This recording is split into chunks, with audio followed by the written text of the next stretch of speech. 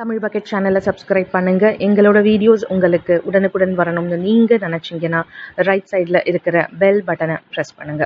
ஒரு அப்பா தன்னோட மகனை காட்டுக்குள்ளே கூட்டிட்டு போயிருக்காரு. கூட்டிட்டு போனவர் தன்னோட மகன் கிட்ட சொன்னாரு இன்னைக்கு நான் உனக்கு மிகப்பெரிய ஒரு சவால் கொடுக்க போறேன். அதாவது மகனோட கண்களை கட்டிட்டு இன்னைக்கு இரவு முழுக்க நீ இந்த கண்களை கட்டிட்டு இந்த காட்டுக்குள்ளேயே தான் இருக்கணும் அப்படின்னு சொன்னாரு. முதல்ல மகன் வந்துட்டு பரவாயில்லையே வெளிச்சம் இருக்கிறதுனால சரிப்பா நான் இருக்கிறேன் அப்படின்னு சொல்லி ரொம்ப தைரியமா சொல்லிட்டாரு.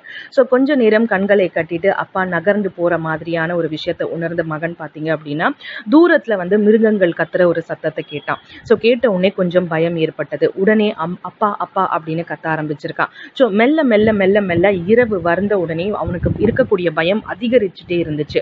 ஸோ அப்பா அப்பான்னு கத்தி கத்தி ஒரு கட்டத்துல வந்துட்டு அமைதியா ஒரு இடத்துல போய் உட்கார்ந்து தூங்க ஆரம்பிச்சுட்டான். ஸோ தூங்கிட்டு பக்கத்துல எந்த மாதிரியான ஒரு சத்தங்கள் கேட்டாலும் அவன் மனதை திடப்படுத்திக்கிட்டு அப்படியே வந்து தூங்கிட்டான். ஸோ காலையில எழுந்திருச்சு முழிச்சு பார்க்கறான் கொஞ்சம் வெளிச்சம் வந்து அவனோட மேல சூரிய ஒளி பட்டதும் காலையில ஆயிடுச்சு அப்படின்னு அவனுக்கு தெரிய வருது. ஸோ எழுந்திருச்சு கண்கள் இருக்கக்கூடிய கட்டை அழுத்த உடனே அவங்க அப்பா எதிரில் நிற்கிறாரு உடனடியாக ஓடி போய் அப்பாவை கட்டி பிடிச்சிக்கிறாரு. அப்பா எப்பப்பா வந்தீங்க? எனக்கு பயங்கரமா பயமா இருந்துச்சு. ஆனா ஒரு வழியா மனசுல தைரியம் வரவழைச்சிட்டு இரவு முழுக்க நான் இந்த காட்டிலேயே இருந்துட்டேன்ப்பா. உங்களோட சவாலை நான் ஜெயிச்சிட்டேன் அப்படின்னு சொல்லி அந்த மகன் வந்து அப்பா கிட்ட சொல்றாரு. ஸோ இதை சொன்ன உடனே அந்த அப்பா சொல்றாரு நான் போனாதானப்பா நான் வந்துட்டு திரும்ப வர்றதுக்கு. நான் இங்கேயே தான் உன் கூட கூடயே தான்ப்பா இருந்தேன் அப்படின்னு சொல்றாரு. அப்போ ஏன்பா நான் பயத்துல அப்படி வந்து கத்துனேன் அலறினேன் ஆனா நீ கொஞ்சம் கூட எனக்கு வந்துட்டு பதில் கொடுக்கவே இல்லை. ஏன்பா இப்படி பண்ணேன்னு சொல்லும்போது அப்பா சொல்றாரு உனக்கு வாழ்க்கையில் இருக்கக்கூடிய ஒரு மிகப்பெரிய ஒரு பாடத்தை நான் இன்னைக்கு கற்றுக் கொடுத்துட்டேன். அச்சத்தோட உச்சம் வரும்போது தான் வந்துட்டு தைரியம் மிக தைரியம் வரும். ஸோ அது உனக்கு வந்துட்டு கற்றுக் கொடுத்துருக்க. ஸோ எந்த விதமான ஒரு சூழ்நிலை வந்தாலுமே எந்த ஒரு கட்டத்துலையுமே கட்டத்திலையுமே வந்து அதை எதிர்கொள்ளக்கூடிய ஒரு தைரியத்தை நான் உனக்கு கொடுத்துருக்கேன்னு சொல்லி அந்த அப்பா வந்துட்டு அந்த மகனுக்கு சொல்லியிருக்காரு. ஸோ பொதுவாகவே நம்ம என்ன நினைப்போம்? நம்ம எவ்வளோதான் கஷ்டப்படுறோமோ கடவுள் இருக்காரோ இல்லையோ நான் எல்லா கடவுளுக்கும் வந்துட்டு கும்பிடுறேன். எல்லாமே வந்து செய்கிறேன் எல்லா நல்ல விஷயங்களையும் பண்ணுறேன் அப்படின்னு நம்மளுக்கு தோணும். ஆனால் கடவுள் இருக்காரா இல்லையா அப்படிங்கிற ஒரு சந்தேகம் நம்ம எல்லாருக்குமே இருக்கும்.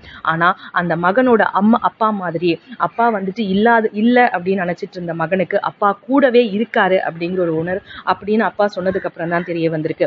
ஸோ அதே மாதிரி கடவுள் அப்படிங்கிற ஒருத்தர் வந்துட்டு திடீர்னு நம்ம கிட்ட வந்து நம்மளுக்கு கொடுக்குற மாதிரி கிடையாதுங்க. நம்ம கூடவே தான் கடவுள் இருந்துகிட்டே இருந்து இருக்காரு. அது மட்டும் இல்லாம நம்ம மனதில் இருக்கக்கூடிய நல்ல விஷயங்களும் மனதை எப்பவுமே தூய்மையா வச்சுக்கிட்டே இருந்தோம்னா கண்டிப்பா நம்ம வந்து நினைக்கக்கூடிய இலக்கை கண்டிப்பா வந்து அதை எட்டுவோம். அது படிப்புல இருந்தாலும் சரி வேலையில இருந்தாலும் சரி விளையாட்டில் இருந்தாலும் சரி எந்த விஷயத்தில் இருந்தாலும் சரி கடவுளை மனசுல நினச்சிக்கிட்டு நம்ம நினைக்கக்கூடிய விஷயத்த அதை நோக்கியே நம்ம வந்து பயணித்தோம்னா எந்த விதமான ஒரு பயம் அச்சமும் இல்லாம கண்டிப்பா நம்ம நினைக்கக்கூடிய விஷயம் நடக்கும். தமிழ் பக்கெட் சேனலை லைக் பண்ணுங்க ஷேர் பண்ணுங்க சப்ஸ்கிரைப் பண்ணுங்க.